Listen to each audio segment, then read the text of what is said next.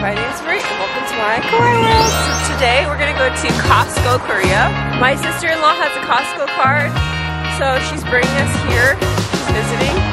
And I've never been here before, so let's see if they have anything different from American Costco. This particular Costco is located in Yeongdeungpo, which is in Seoul. Today I'm going to talk about 10 unique things that you can buy at Costco Korea and some other stuff.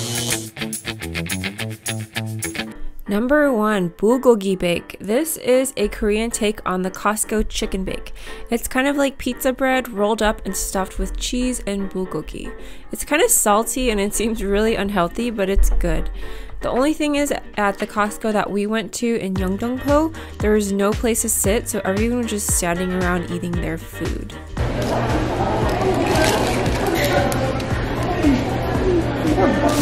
Mediheel masks. Mediheel masks are my absolute favorite Korean sheet masks. I usually get them for about a dollar from Olive Young, but these particular masks tend to go for 2 to $4 each. So in this package you get 30 masks for 33,000 won, which ends up being about 30 US dollars. What a steal. They also sell a good variety of other Korean beauty and skincare products here in bulk. I'll tell you about the brands I saw later in this video. Terarosa Coffee. Terarosa is one of the biggest and most popular coffee companies in Korea. They roast their own beans and they have a big roastery outside of Seoul and shops throughout the country. Here at Costco, you can buy their coffee in bulk, which seems like quite a good deal.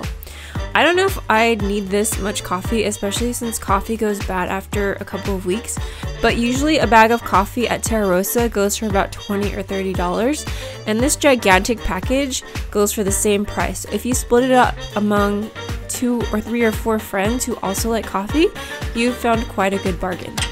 Packing tape. I'm always sending packages and in need of packing tape, so I got this big bag for about 10 or 12 US dollars. Nexcare acne patches. These are a favorite of mine. You just stick them on your pimple overnight and the patch sucks all the juice out of the pimple. Bibigo frozen food. Bibigo is one of my favorite Korean frozen food brands. I like their mandu dumplings. They have different flavors and my family likes the tteokgalbi.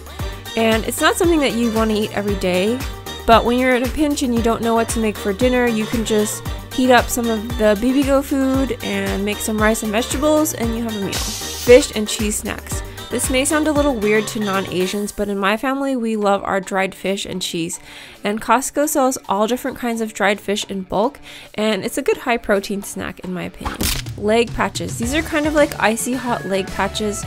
I don't personally use these because I don't have those kinds of aches and pains yet, knock on wood.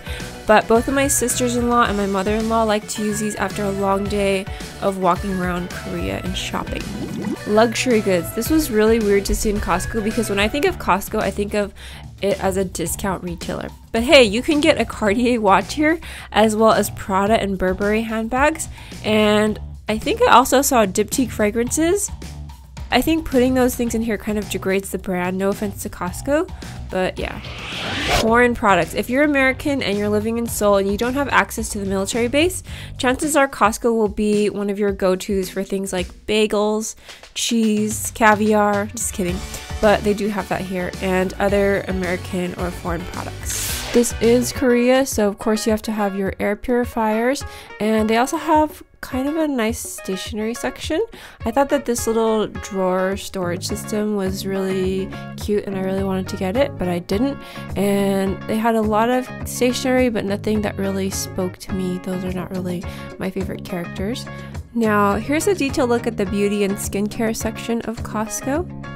And I recognize a lot of these brands Hada Labo, SK2, IOPE, I use their cushion compact, but I haven't tried the cream before.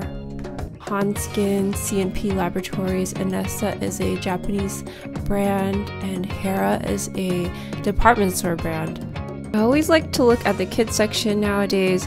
Um, I exercise so much restraint in not purchasing this fake pink KitchenAid mixer for my kids' play kitchen, but we did end up getting this glass deco kit. This was Sienna's favorite thing the time we went, and I wasn't opposed to it, so we got it, but then I regretted it later because the girls ended up sticking their pieces all over the white furniture and it kind of stained the furniture. So I should have gotten those puzzles instead.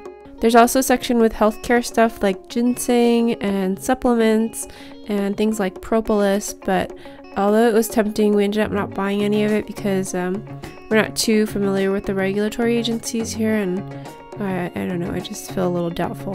They also sell air purification masks in bulk, which is always nice. They also had Line Friends and Baby Shark toothbrushes, but I ended up not getting this because my kids really aren't into either of those characters. But the price was not bad. You can also get outdoor products like these wagons for toting kids and all of your junk. Now we're gonna head downstairs to the basement floor. We entered on the first floor, and this basement floor has like the food court area. Only thing is there are no seats here, and they also have a lot of food. Of course, it's Costco, so they have samples, which I always love. Costco carries American meat, but they also carry a lot of seafood that tends to cater to Korean tastes. However, they also carry stuff that is hard to find in other parts of Seoul, like this giant octopus. The produce was just okay, I thought, in terms of price and quality. And they have a whole selection of baked goods. This bake section always reminds me of uh, last year there was a Korean dessert shop that was selling Costco cookies, but passing them off as organic homemade cookies and they had like lines out the door. They got really popular on social media, and then people found out that they were just selling Costco baked goods. So, you know what? Don't always trust what you see on Instagram. We don't have a Costco membership. I don't know. What do you guys think? Do you think it's worth it? I think it's about 35,000 won in Korea. If you end up going to this Costco, don't forget to validate your parking ticket with the stamp at the door. You just do it yourself, or else you might have to pay. Close your eyes. Open your eyes.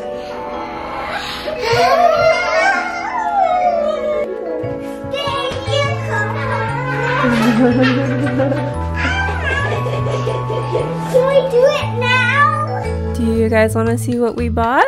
Um, this is mostly my sister-in-law's stuff. Actually, all of it is.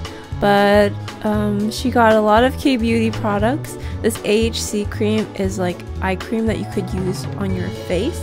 And I haven't tried most of these products. The only ones I've tried are the Nexcare and Mediheel masks. Let me know in the comments below what you like to buy at Costco and don't forget to subscribe to my channel if you enjoyed this video. Thanks, I'll talk to you later. Bye!